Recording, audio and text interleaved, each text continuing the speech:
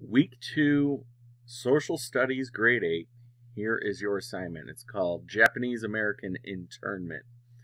The instructions Visit the following website to learn about Japanese American internment during World War II. So, step one, you click this link, it opens up a web page with an article that you're going to read right here. So, you read this article to get a little background information. When you're done, close that out. Then you're going to watch the following video on YouTube. So you click that link and it pops up here on YouTube. So it's like a little three minute video. You watch that. When you're done, come back here.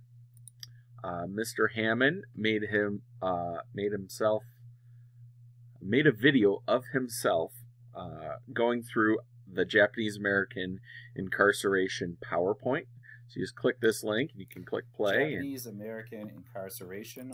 And you can watch Mr. Hammann talk about Japanese American internment there. After you're done with that, you're going to watch the following video,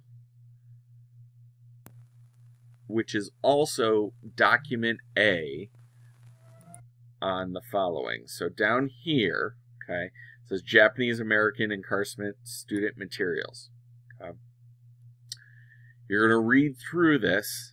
Now, document A, you don't have to read through if you watch that video. That video is So first is a little timeline. Document A, oh, document A is not even in there. So document A, you watch the video. Document B is right here. Document C is right here. Document D is right here.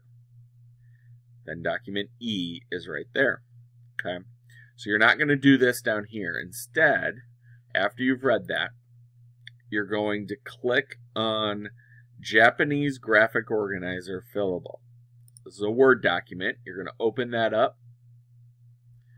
Whenever we get a Word document that we need to edit, we click Edit Document, Edit in Browser. Let that fully load up. Okay. And then in these boxes, you can type.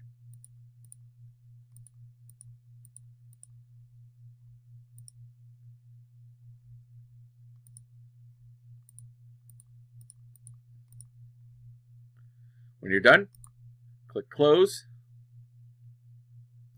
and click Turn In.